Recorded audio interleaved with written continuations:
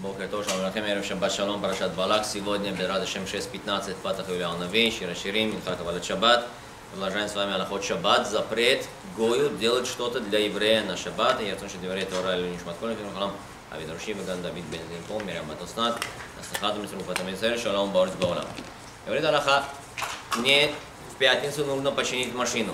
Могу я машину в пятницу отдать Гою, который ремонтирует машины, а потом сказать, что я в воскресенье приду, машину заберу или нет. Алха говорит, я имею право при условии, что у него достаточно времени эту машину починить или в пятницу до шаббата, или после шаббата.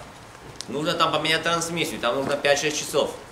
Если я принес ему утром, тогда даже если он будет чинить эту машину в шаббат, он имеет право, потому что он мог это сделать до шаббата или после шаббата, решил делать на шаббат, это его проблема. Но если я э, привез ему машину за 10 минут до шаббата, и даже я ему ничего не сказал, что почини ее в шаббат, когда я ее даю, отдаю ему на починку до шаббата, все равно, что я ему сказал. Хотя я ничего не сказал, в этом случае не имеет права человека давать ему машину, потому что сейчас он практически его заставляет чинить эту машину в шаббат. Человек, который договорился с Гоем, чтобы он построил ему дом, или скос его поле, и, и договорился за общую цену, имеет право делать на шаббат или нет, Аллаха говорит, зависит от того, где этот дом строится и где это поле находится. Если этот дом находится в районе, где живут, или даже там не живут, но ходят евреи, то не имеешь права этот дом строить на шаббат. Этот гой не имеет права положить строить на шаббат. Только если это за городом, там, где гойский район, и ты договорился, что он тебе построит дом, починит там квартиру за определенную сумму, все там, одна общая цена, тогда имеешь право.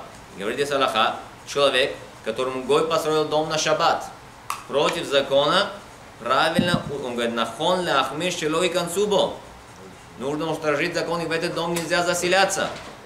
Настолько строг запрет строить на шаббат. Поэтому тот, кто строит, он должен знать, я строю дом среди евреев, я должен договориться, перед тем, как если это строит Гой, он будет мне строить, даже Гой, в шаббат ты не работаешь, в Йомтов, в праздники ты тоже не работаешь, чтобы не нарушить этот запрет, чтобы люди не, не посмотрели, сказали, а смотри, если он строит, мне тоже можно, или может он договорился с ним поддельную оплату, несмотря на то, что я делаю все правильно, закон есть закон, в еврейском районе, в еврейском месте не имеет права даже год для меня строить дом. Баруха Дунай Лаулам.